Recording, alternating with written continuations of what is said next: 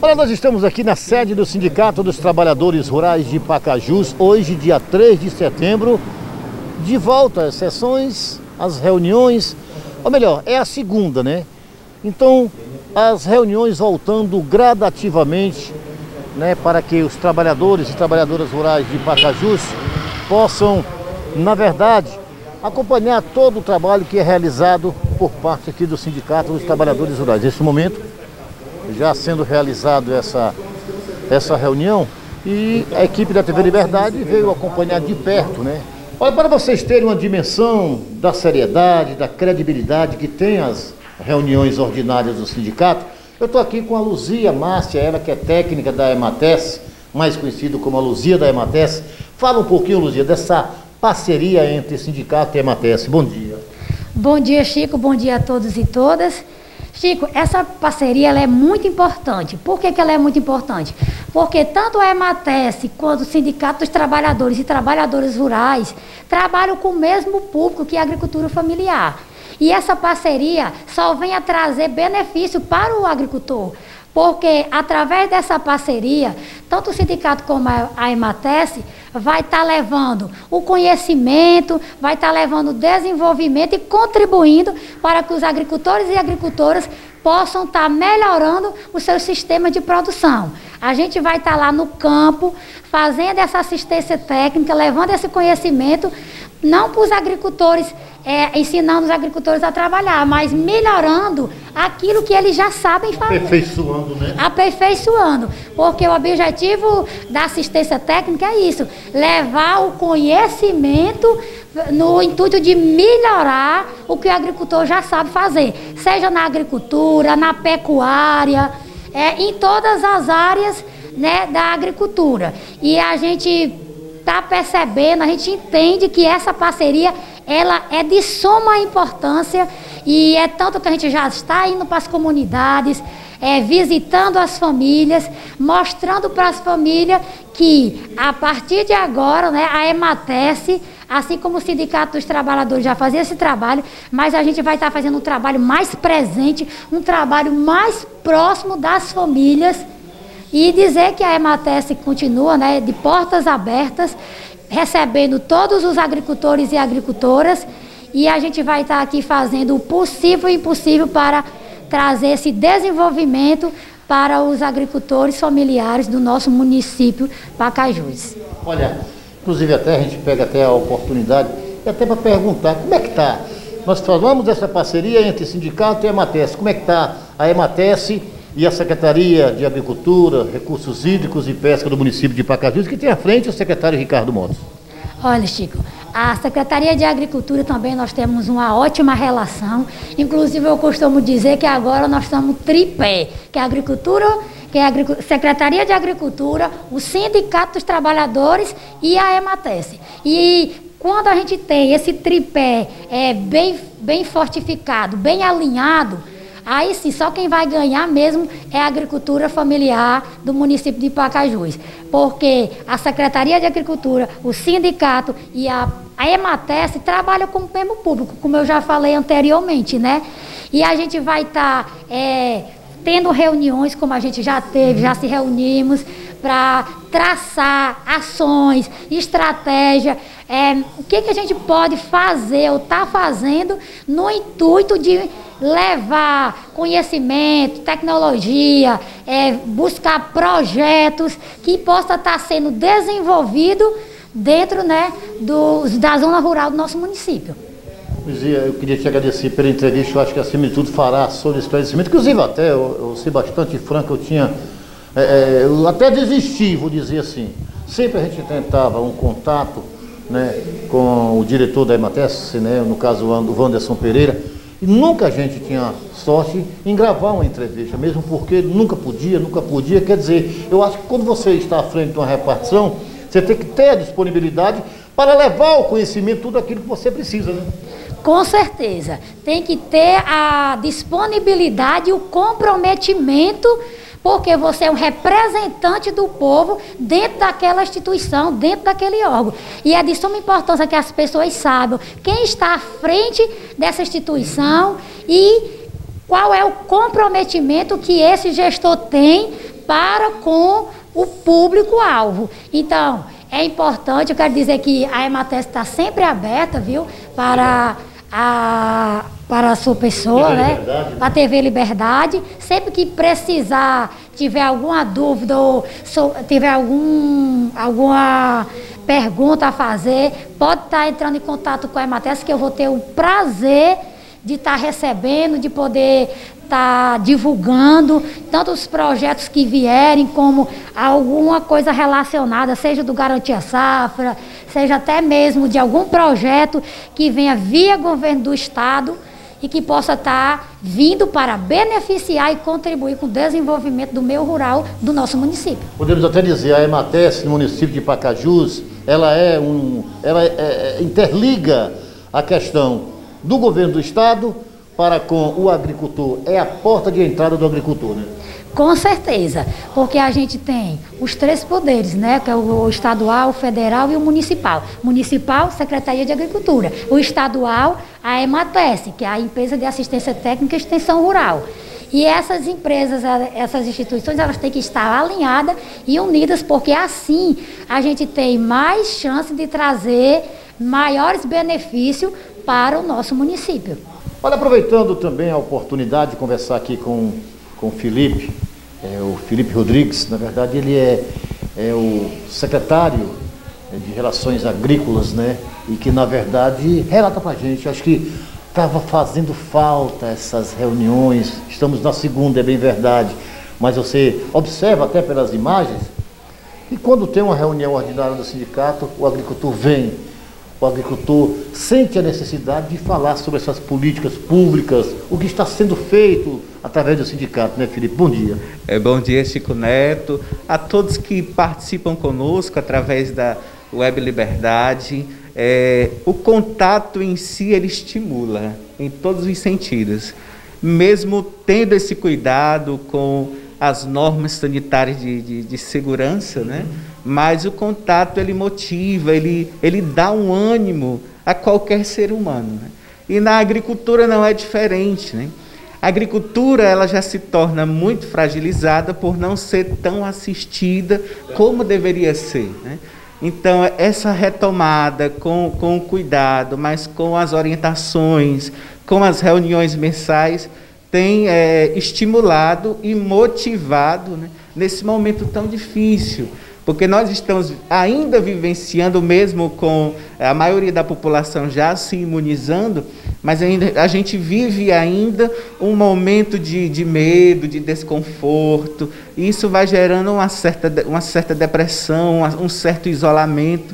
E quando a gente tem essa, essa possibilidade de uma retomada, de, de organizar o agricultor, de falar dos projetos, de falar dos direitos, de falar daquilo que é essencial, dá sim uma alegria, a gente percebe, né?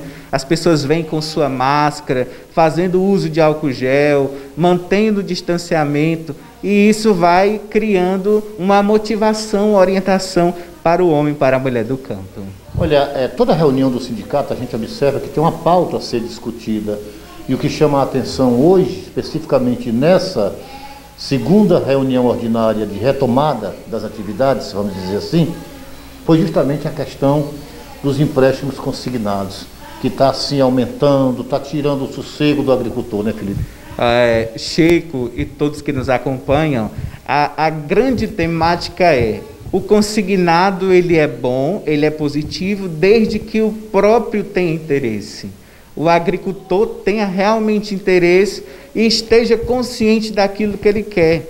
A partir do momento que ele não quer e que ele não tem interesse e que ele é fraudado, isso passa a ser um incômodo. É, a gente recebe várias demandas no decorrer da semana, aonde agricultores aposentados, pensionistas, é, nos procuram sem poder dormir, inquieto, porque vem descontos altíssimos no seu benefício e de imediato eles não conseguem identificar porque não tem uma preparação, não tem o um esclarecimento para isso.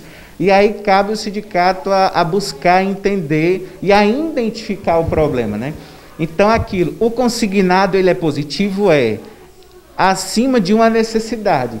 Eu estou necessitando, não tenho de onde tirar, eu recorro a um consignado. Mas desde que parta de um interesse meu. Agora, quando eu não quero, eu não posso ter descontado na minha folha de benefício o referente a um financiamento de 15 mil, como é o que está acontecendo agora. Né? Porque geralmente aos aposentados que estão sendo lesionados, que não desejam estar realizando esse tipo de atendimento, é um valor de 15 mil, outro de 2.780. Chega a ser desumano, né, Felipe? Chega a ser desumano para pagar em 80 parcelas, né? Desconto de 545 reais mensal no benefício. Aí um benefício de R$ 1.100, você desconta 545, mais 125 de outra parcela. Isso se eu não tiver nenhum. Se eu já tiver outros, eu vou ficar com o quê? Para farmácia, para supermercado e para tantas outras coisas. É, e o mais interessante é a política é, olhe, saia do sindicato, sindicato, você já se aposentou, não precisa mais não, você está sendo é besta, gastando seu dinheiro. Sabe por quê? Porque na hora que o agricultor ele está desprotegido, ele é uma presa fácil de pegar. É mais pura realidade. Inclusive até, para você ver, ele não teve autorização para falar com a nossa equipe, mas que irá entrar em contato com a assessoria de imprensa da Caixa Econômica, o Anselmo, ele que é gerente da agência de Pacajus, que irá dar alguns esclarecimentos nesse tocante. Hoje não, mas em outra oportunidade ele prometeu que estará justamente pegando autorização para falar sobre esse assunto tão importante e tão preocupante como é o empréstimo consignado, Felipe. Verdade. É agradecer a parceria da Rádio Web Liberdade para os agricultores aqui da cidade de Pacajus e todas as regiões onde nos acompanha pelo Facebook, pelo YouTube e até mesmo pela rádio. Mandar um forte abraço para o Alex Montenegro, o Anderson Carvalho, que tem feito um grande trabalho juntamente com você, Chico, o Ednei e toda a equipe da Rádio TV Web Liberdade. Obrigado, Felipe. Um abraço, tudo de bom. Olha, aproveitando também a oportunidade de conversar aqui com o presidente do Sindicato dos Trabalhadores Rurais de Pacajus, né? Participou ativamente, eu acho que não desmerecendo as demais, mas hoje uma, uma reunião ordinária assim, onde eu falei até para, para o secretário Felipe, voltada naquela proteção né, para o homem e a mulher do campo, no caso, os empréstimos consignados, né, Simval? Bom dia. Bom dia, Chico Neto, bom dia, telespectador da TV Liberdade, bom dia para os nossos agricultores e agricultoras. Chico Neto, na realidade, nós estamos vivendo um momento, né, de retomada das atividades, estamos na segunda reunião ordinária que nós estamos tendo, tivemos duas assembleias gerais antes das nossas reuniões e agora 6 de agosto e agora 3 de setembro. A próxima é dia 1 de outubro. Você já grava aí que 1 de outubro nós vamos estar de volta. E aí, Chico Neto, a reunião que teve a presença do representante da Caixa Econômica, representante da EMATES, porque a gente tem essa preocupação em trazer informação para o nosso agricultor. E a gente pede, né? A, hoje o foco principal é a questão dos aposentados, muito aposentado está sendo fraudado pela questão dos empréstimos consignados, que eles mesmos não estão feitos, ou eles que têm empréstimo estão renovando automaticamente de acordo com a margem, sem eles querer, sem eles ter feito, entendeu? Isso é muito grave, é muito ruim, é preocupante para nós que representam este povo, nós que representamos uma classe, que nem os nossos aposentados e pensionistas, um povo, dizer assim, honesto, um povo sincero, sem nenhuma maldade, deposita muita confiança em, em muitos tipos de pessoas e aí eles estão sendo lesados, né? Mas nós estamos tomando todos as, os cuidados, as precauções, oferecendo o melhor para eles. A Caixa Econômica veio, representante da Caixa, para explicar quais são os critérios para que eles possam ser, é, dizer assim, cliente da Caixa Econômica. Muitos já são, outros ainda não. E a gente quer oferecer a segurança e o melhor para o nosso aposentado e pensionista. Quanto os demais, os agricultores, nós temos aí a questão do Garantia Safra, que já estamos se aproximando. Temos a questão também do ITR, quem tem os seus terrenos. Esse mês de setembro é o mês de fazer as declarações do ITR sobre é, sujeito a pagar multa, quem não fazia a declaração. E o sindicato está de portas abertas para atender o nosso povo, segunda a sexta-feira, de sete a meio-dia. O presidente está na sede segunda, quarta e sexta. Os demais, dia terça e quinta, eu estou em atividade externa, mas também o sindicato funciona normal nesse horário. Use o telefone 33480055, o WhatsApp também, mas até meio-dia. Depois de meio-dia, você não vai poder ser atendido, entendeu? A gente pede muito o empenho, a compreensão dos nossos agricultores para que eles possam dizer assim, tenham os seus benefícios garantidos, tenha a segurança garantida sobre o que é de direito deles, Chico Neto. Acho que é importante frisar que tudo isso aqui mencionado pelo Felipe, né, pelo Simval, pela própria representante da Emates, no caso a Luzia, eu acho que são assuntos pertinentes, justamente voltados para o homem e a mulher do campo, para o agricultor de forma geral, porque na verdade, principalmente os aposentados, por muitas vezes, acham que estão, digamos, é, é, é, fazendo uma ação onde que na verdade existem muitos delituosos, né, no caso pessoas que, como você bem falou, né, que tem a questão da má índole e que na verdade está fazendo, está fraudando né, os nossos agricultores. Pois é, Chico Neto, a gente tem essa preocupação e a nossa responsabilidade. Trouxemos também hoje, Chico Neto, na reunião já o lançamento do novo sorteio do sindicato, né, que vai ser em dezembro. Falta só nós confirmar a data, mas no mês de outubro nós já confirmamos a data. Podemos ter uma festa presencial? Podemos também, de acordo com a, a possível uma festa presencial, né? E aí, mas eu quero dizer, o aposentado, o pensionista, o associado em geral, ele já começa a pegar o seu compom a partir de setembro. Ele vai pegar setembro, outubro, novembro e dezembro, quatro. Na de outubro, na de julho, ele tinha direito a três, né? Que era maio, junho e julho e agora ele vai ter o de setembro, outubro, novembro e dezembro. Os prêmios que nós estamos já garantindo é os mesmos prêmios que foram garantidos no dia 28 de julho, porque nós já temos vários é, com já confeccionado, já tem nas, aqueles, mas isso não vai dizer que vai ser só esses prêmios. Uhum. Poderá ser muito mais, de acordo com o que nós podemos adquirir através dos nossos colaboradores dos nossos patrocinadores mas o associado procura o sindicato para poder receber o seu compom ou a coordenação sindical. Quanto aos aposentados, nós vamos sentar com os coordenadores, certo? Na próxima semana e vamos ter uma definição como é que nós vamos fazer é, os aposentados que é descontado em banco. Provavelmente eles não vão não precisar tirar o seu compom. O sindicato vai se responsabilizar em tirar para eles, mas isso é uma coisa que nós vamos definir. Também as coordenações sindicais, tirar os que realmente são das comunidades. E aí nós pede é, ao nosso agricultor, à nossa agricultora, manter o seu contato de telefone em dias atualizado, né?